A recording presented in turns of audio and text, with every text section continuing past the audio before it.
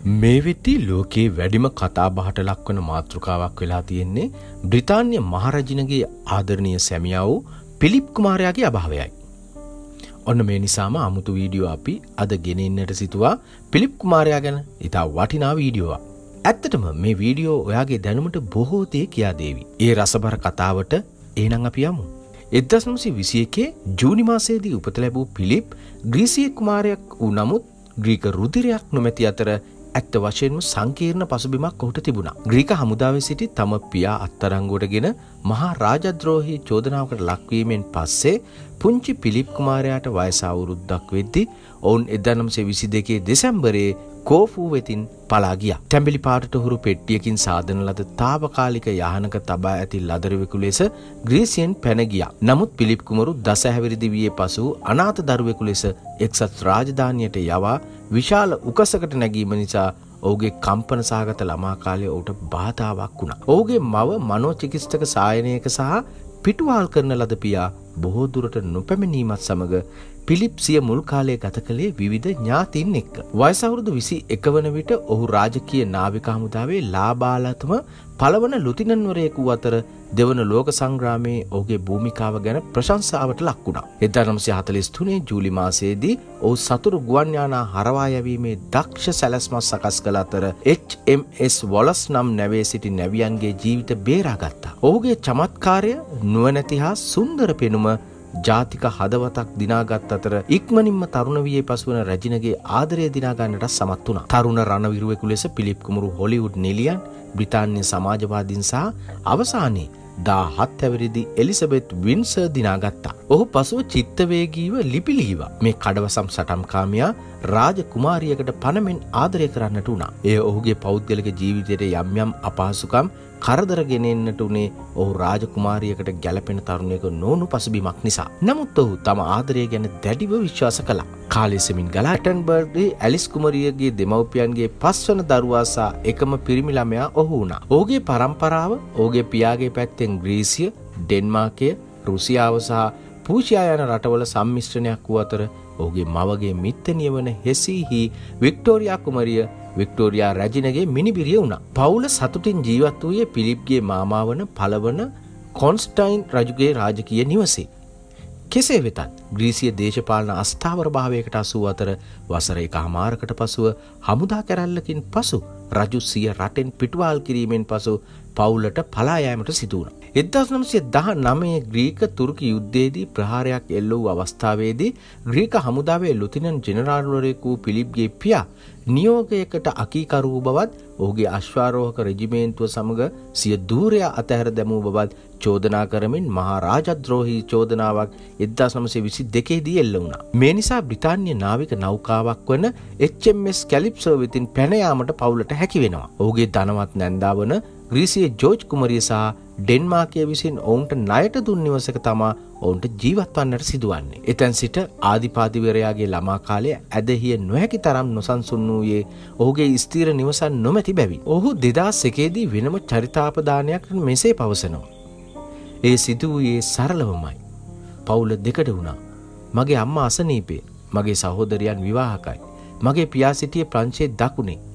මට ඒකත් එක්ක ඉදිරියට යන්න වෙනවා. පිලිප් සරේහි චෙම්පාසලට වසර තුනක් යවනු ලැබුවා. නමුත් ඔහුගේ සහෝදරයන් හතර දෙනාම විවාහවී ජර්මණයේ පදිංචිට ගියා. ඔහු නැවත බ්‍රිතාන්‍යයට ගොස් ස්කොට්ලන්තයේ බෝඩින් පාසලක් වන ගෝඩන්ස් ටවුන් වෙත යවන විට ජර්මනිය ඔහුගේ ස්ථාවරය කෙටියෙන් ඔප්පු වෙනවා. ස්කොට්ලන්තේ එල්ජින් අසල පාසල ආරම්භ කරන ලද්දේ කුමරුට ප්‍රබල බලපෑමක් කළ ආචාර්ය හාන්ස් විසි. ඔහු ඉතා කලාතුරකින් තම දෙමව්පියන් දුටු අතර හුද කලා වුණා. නමුත් ඔහු සන්තෝෂවත් සජීවී දරුවී.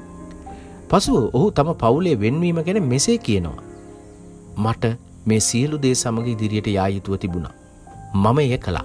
ආධිපාදවරයා ගෝඩන්ස් ටවන්හි හොකිසා ක්‍රිකට් කණ්ඩායමල නායකත්වය දැරුව අතර ඔහුගේ අවසානවාරයේදී භාරකරු බවටත් පත් වුණා. පාසල් අධ්‍යාපනයෙන් පසු පිලිප් රාජකීය නාවික හමුදාවට බැඳුනේ එදනම් සිතිස් නමේ මැයිමාසයේදී ඩාට් මුූති බ්‍රිටෑනියා රාජකීය නාවික විද්‍යාලයෙන් ආරම්භ වූ අතර හොඳම ශිෂ්‍ය බටයා ලෙස තරුණ පිලිප්ව නම් කෙරෙනවා. ඔහු රාජකීය නාවික හමුදාවේ නැවතී සිට නැව් කිහිපක සේවය කළා. ඊළඟ අවුරුද්දේ ඔහු මැදිහත්කරුවෙකු වෙනවා. 1941 මාර්තු මාසයේදී ඔහු MHS වේලියන් යුද නෞකාවේ සෝදිසි කිරීමේ පාලන නිලධාරියෙකු අතර ඉතාලි බලෑනියකට එරෙහිව පැවති සටනේදී ඔහුගේ කොටස සඳහා පිටත් කර හැරියා. ඔහුගේ අනදෙන නිලධාරියා මෙසේ පැවසුවා. ඔහු සෝදිසියෙන් හා තත්ත්වය අගය කිරීම නිසා මිනිත්තු පහකින් අඟල් අටක තුවක්කු දෙකක් සහිත ඉතාලි කෘස් යාත්‍රා ගිල්ලන්නට අපට හැකි වුණා. ඔහු ඇත්තෙම දක්ෂ නිර්ධාරිය. ටික කලකට පසුව ඔහුට ග්‍රීක යුද කුරුසේ පිරිනැම්වේ ඔහුගේ තීක්ෂණ නුවන සහ අති දක්ෂ යුද නායකත්වය නිසාවේ. පිලිප් තම ඥාති සොහයුරයෙකු ඩේවිඩ් මිල්ෆර්ඩ් හේවන් සමඟ වින්ස්ල කාසල්හි නැවතී සිටිය.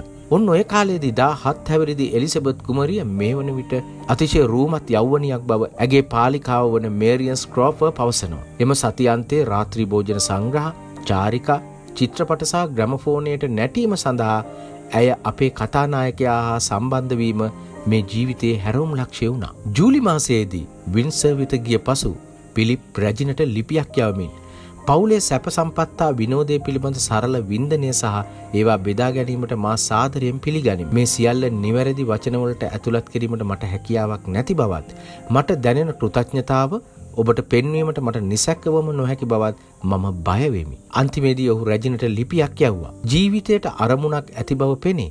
යුද්ධයෙන් බේරි ජයග්‍රහණය දැකීමට විවේකයේ ගැනීමට නැවත හැඩගැසීමට මට අවස්ථාවක් ලබා දීම සම්පූර්ණයෙන්ම හා නොසලිකිලිමත් ලෙස ආදරයෙන් බැඳී සිටීම සහ ජීවිතයේ සියලු කරදර ඔබ හමුවේ මට කුඩාවට පෙනේ. යනුවෙන් ඔහු තම ආදරය ප්‍රකාශ කළා. මේ අතර තම අරමුණ මල්පල ගැන්වී ඒ මහා ආදරය ජයගත්තා. යුවලට විවාහවීමට ඉඩදීමට රජපවුල ප්‍රතිපත්තිමය වශයෙන් එකඟ වූ නමුත් එලිසබෙත්ත වයසවුරුදු විසි එකක් වනතෙක් ඔවුන්ට බලා සිටීමට අවශ්‍ය වුණා. ආරම්භයේදී රජුසා රැජින පිළිප් පිළිබඳ සැක පහල කළා. හැරට් නිකොලස් පවසන පරිදි ඔහු රළු, අශෝභන, නූගත් විශ්වාසවන්ත නොවනු ඇතැයි ඔවුන්ට හැඟුණා. නමුත් ඔවුන් ඔහුව දැන හඳුනා ගන්නා තරමට ඔවුන් ඔහුට වැඩි වැඩියෙන් කැමති වුණා. විශේෂයෙන් හයවන ජෝර්ජ් ඔහුගේ ඍජු ආකාරය අගය කළා. විහිළු සහගත හාස්‍ය ගැන වඩා කැමැත්තක් දක්වන්නට වුණා. පිලිප් කුමරු විවාහ වන විට වයස අවුරුදු 26 දී රාජ්‍යත්වයක අනන්‍යතාවයේ සියලු සලකුණු ඔහුට හිමිව තිබුණා. ඔහුගේ පියා 1944 දී මොන්ටේ කාලෝහිදී මියගිය අතර ඔහුට ඔහුගේ උපැන්න අයිතිය නිවස නම ජාතිකත්වය සහ පල්ලිය අහිමි වුණා. දෙවන ලෝක සංග්‍රාමයේ අවසානයෙන් පසුව පිලිප් 1951 ජූලි මාසයේදී සිය ක්‍රියාකාරී නාවික වෘත්තිය අවසන් කළ අතර 1952 දී රැජින සිංහාසනයට පත්වීමෙන් පසු ඇයට සහය දැක්වීමේ සිය කාර්යයන් කෙරෙහි අවධානය යොමු කිරීමට පටන් ගත්තා. වසර හතරකට පසු එදන්නම්සේ පනස් හයේදී එඩින්බරෝ ආධිපාදිවරිය සම්මාන උලෙල ආරම්භ කිරීම සම්බන්ධයෙන් ඔහු වඩාත් ප්‍රසිද්ධියට පත් වුණා. ඒ රටවල් එකසිය හතලියකට අධික සංඛ්‍යාවක ක්‍රියාත්මක වන තරුණ ජයග්‍රහණ සම්මානයක්. ජර්මානු අධ්‍යාපනාඥ කර්ට් හාන් සහ එවරස්ට් කඳුනගින්නෙකු වන ලෝඩ් හර්ට් සමග එක්ව ආරම්භ කරන ලද මෙම සම්මානය වයස අවුරුදු 14ත් 24ත් අතර තරුණ තරුණයන්ට ත්‍රාස්‍ය ජනක අත්දැකීම් ලබා ගැනීමට සහ පන්ති කාමරයෙන් පිටත ඉගෙනීමට උපකාර කිරීම අරමුණු කරගෙන ඇති කරගත් එකක්. ආධිපාතිවරයා සිය ජීවිතයෙන් වැඩි කාලයක් ගත කළේ පාරිසරික සංරක්ෂණය, ක්‍රීඩාව, මිලිටරිය සහ ඉංජිනේරු විද්‍යාව යන අංශවල සේවය කරන පුණ්‍යායතන හා සංවිධානවල විද්‍යාත්මක හා තාක්ෂණික පර්යේෂණ කෙරෙහි විශේෂ උනන්දුවක් දක්වමි. ලෝකයේ ප්‍රගමනය සඳහා පිලිප්ගෙන් විශාල දායකත්වයක් ලැබුණා. 1959 දී ඔහු ප්‍රින්ස් පිලිප් ඩිසයිනර් ත්‍යාගය සඳහා විනිශ්චය මණ්ඩලයේ මුලසුන දැරුව අතර ජයග්‍රාහකයන් සහ ශ්‍රීමත් ජේම්ස් ඩයිසන් ලෝඩ් ෆෝස්ටර් සහ බොම්ටන් පාබැදි නව නිවැයුම්කරු ඇන්ඩු රීඩ්ද සමගින් එකතු වී මේ කාර්ය දිගටම කරගෙන ගියා. ඔහු සන්නද්ධ හමුදාවත් සමග ශක්තිමත් සම්බන්ධතා පවත්වාගෙන ගිය අතර 1952 දී මුහුදු ශිෂ්‍ය බට බලකායේ අද්මිරාල් යුද හමුදා ශිෂ්‍ය බට බලකායේ කර්නල් ප්‍රධානියා සහ ගුවන් පුහුණු බලකායේ ගුවන් කොමදාරු ලෙස පත් කරන ලදී. ඊළඟ වසරේදී ඔහු නාවික හමුදාවේ අද්මිරාල් තනතුරට උසස් කරන ලද අතර රාජකීය ගුවන් හමුදාවේ ෆීල්ඩ් මාෂල් සහ මාෂල් පත් කළා. පිලිප් බ්‍රිතාන්‍ය ජීවිතයේ විවිධ අංශයන්හි ප්‍රමුඛ කාර්යභාරයක් ඉටු කළේ ස්වෛරීත්වයේ සහකරු ලෙසින්. රජින සමග ඇයගේ පොදුරාජ්‍ය මණ්ඩලීය සංචාර සහ විදේශ සංචාර මෙන්ම එක්සත් රාජධානිය වටා සංචාරයන්ද ඔහු සමග සිදු වුණා. මේ ලෙසින් අතිශය දුෂ්කර ජීවිතයකට මුහුණ දෙමින් තම අරමුණු කරාගිය පිලිප් නම් ඒ අසහාය මිනිසාගෙන් කුමාරයාගෙන් අපට ඉගෙන ගත හැකිදේ බොහෝයි. රාජ්‍යත්වය කියන දේ විටක අමතක කර දුප්පත් ජනතාව සොයා ගොස් ඔවුන්ට පිහිටවූ පිලිප් කුමරු ජනතාව අතර මහත් ආදරයට සහ ගෞරවයට පත් වූ ආදරණීය නායකයෙක් වුණා. රජිනකට සෙනෙහවන්ත කුමාරයෙක් වුණා. දරුවන්ට ආදරණීය පියෙක් වුණා. ලෝකයේ ශතවර්ෂයක් ජීවත් වූ අත්දැකීම් ලබාගත් සීමත මිනිසුන් අතර එක්වීමට ඉතා කෙටි දිනගන්නත් තිබියදී මේ අසහාය මිනිසා තම ජීවිතයට සමුදුන්නේ වසර අනු නමයකටත් වැඩි කාලයක් ආයු වලඳා. අද වන විට ලෝපුරා මිනිසුන් ඔහු වෙනුවෙන් ශෝකය පල කරන විට තම ආදරණය සැමියා ඒ ආදනය ප්‍රේමවන්තයා වෙනුවෙන් බ්‍රිතාන්‍ය මහරජින තම ශෝකය පල කිරීම කාතරත් නිතට කඳුලක් ගෙනාවේ රැජිනක්වත් ආදරීදිරියේ මොනතරම් හැඟීම් බරවනවාද යන්න දැකීමෙන්. ඉතින් ලොවක් වෙනස් කළ අනේක පීඩාවට මුහුණ දෙමින් ලෝකයේ ජයගත් පිලිප් නම් කුමාරයා ගැන ඔයා නොදන්නා ඔයාගේ දැනුමට යමක් එකතු වන්නට ඇති අමුතු වීඩියෝ අපි සිතනවා. එහෙමනම් මේ වීඩියෝ එක ගැනත් ඔබගේ අදහස් පහතින් කමෙන්ට් කරන්නත් අමතක කරන්න එපා. නැවතත් මෙවැනිම අමුතු වීඩියෝකින් හමුවෙමු. ගිහින් එන්න. වාට සුබම සුබ දවසක්. දිනපතා මෙවැනි වීඩියෝ බලන්නට කැමති නම් අමුතු වීඩියෝ අපිව මෙතනින් සබස්ක්‍රයිබ් කරන්න. බෙල් අයිකන් එක මත ක්ලික් කර අපගේ වීඩියෝ මුලින්ම නරඹන්නටත් එකතු වන්න.